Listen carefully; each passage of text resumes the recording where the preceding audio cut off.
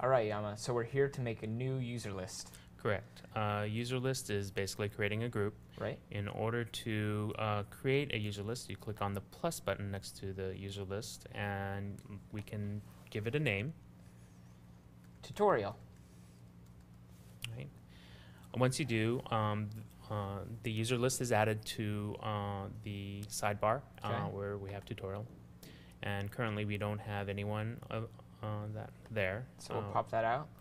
Yep, we'll detach it, and now we'll start adding people. In Okay. order, I'm going to first click on users, so as we add them, we can see them popping up over on the right. Okay.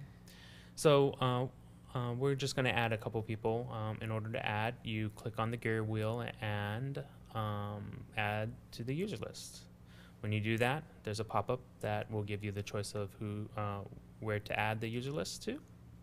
We'll be adding everybody to tutorial this time. Okay. So once again, the gear, click on it, add to user list, and in this particular instance, we're adding people to tutor- tutorial, hmm and they're adding over here. Correct. Now, when you add them to a user list, um, they will their tweets will only show up going forward, so you Okay. won't they won't be going back. Um, it's it's uh, something that will be more uh, that's more effective in terms of the performance for the desktop. All right.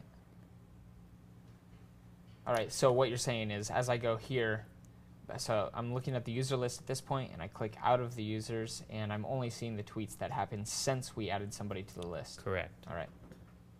And here, uh, Alexis here um, uh, added someone or just made a tweet, and Right. she's added she's added to the column that we've created. Great.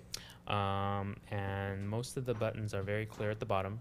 Uh, users, when you click on users, will give you the list. If you click on it again, we'll give you the list of tweets of the stream. Okay. Rename is actually renaming the list. uh, We'll capitalize it. It looks Okay. nicer. right. Clearing is to clear the stream if in case it gets a little bit too convoluted. So everything that's up here I can clear.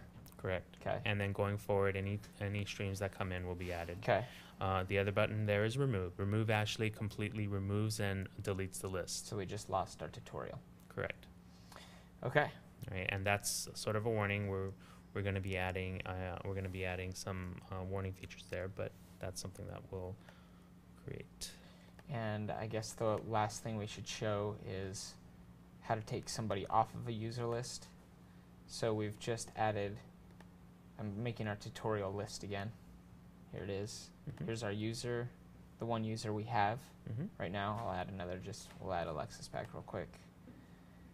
And we actually didn't want Dale, so we can just click on the minus sign Yeah. and he's gone. No offense, Dale. No, you're, a you're a great guy. All right.